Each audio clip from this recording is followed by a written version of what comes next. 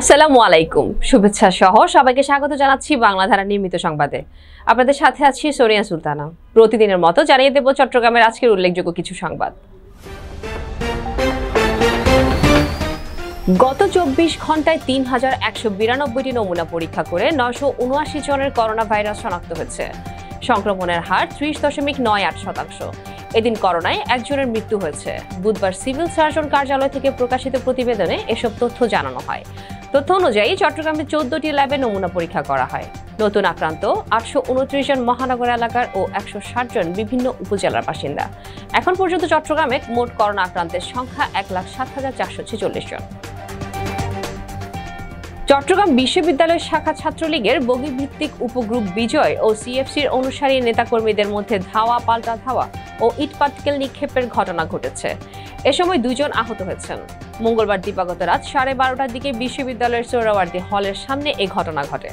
সংঘর্ষের ঘটনায় চার সদস্যের তদন্ত কমিটি গঠন করা হয়েছে।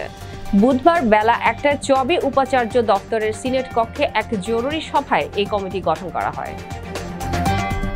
রাঙ্গুনিয়ায় চাঞ্চল্যকর মাহবুবা আলম হত্যাকাণ্ডের আট বছর পর মোহাম্মদ জাসিদ মিয়া চৌধুরী নামের এক পলাতক আসামিকে গ্রেপ্তার করেছে র্যাব সাত।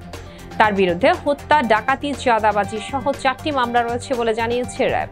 বুধবার ভোরে ফেনীর মহিপাল এলাকায় যাত্রীবাহী বাস থেকে তাকে গ্রেপ্তার করা হয়। গ্রেফতার জাসেদ মিয়া রাঙ্গুনিয়া উপজেলার পেয়ার মোহাম্মদ চৌধুরীর বাড়ির এলাকার মোহাম্মদ আব্দুল মান্নান চৌধুরীর ছেলে।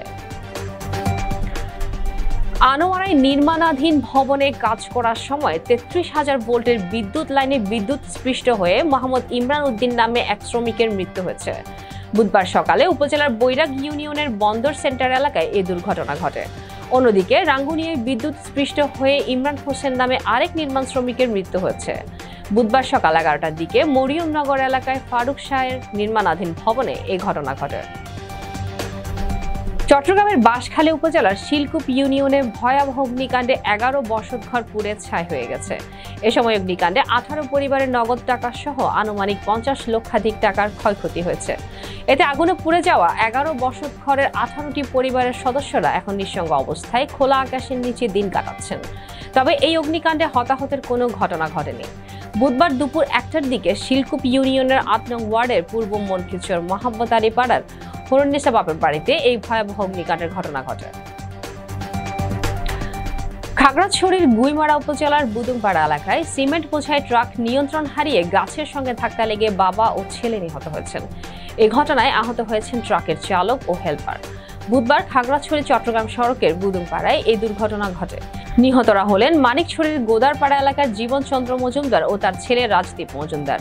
আহতদের উদ্ধার করে মাটিরাঙ্গা উপজেলা স্বাস্থ্য কমপ্লেক্সে ভর্তি করা হয়েছে।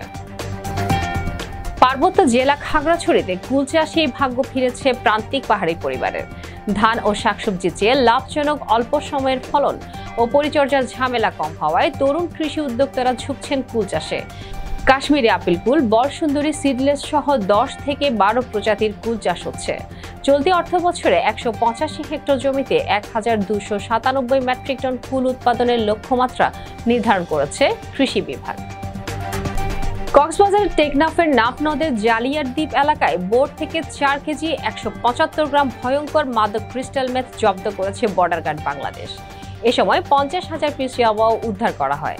বুধবার এক সংবাদ সম্মেলনে টেকনাফ দুই বিজিবি ব্যাটালিয়নের অধিনায়ক লেফটেন্যান্ট কর্নেল শেখ খালিদ মোহাম্মদ ইফতেখার এ তথ্য জানিয়েছেন। বঙ্গোপসাগরের সেন্ট মার্টিনের ছেড়া দ্বীপ সংলগ্ন সমুদ্র এলাকায় মাদক কারবারিদের সঙ্গে কোস্ট গার্ডের গোলাগুলির ঘটনা ঘটেছে। এ সময় এগারো লাখ পঁচানব্বই হাজার ছশো পিস ইয়াবা ট্যাবলেট। ত্রিশ রাউন্ড গুলি, দুটি ম্যাগজিন সহ একটি বিদেশি অত্যাধুনিক অটোমেটিক সাবমেশিন গান জব্দ করেছে।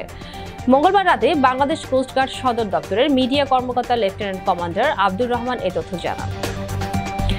এই ছিল আমার হাতে থাকা চট্টগ্রামের আজকের বিশেষ কিছু সংবাদ। আগামীকাল ঠিক একই সময়ে থাকছি নতুন নতুন সংবাদ নিয়ে। দেখার আমন্ত্রণ জানিয়ে আজকের মতো শেষ করছি।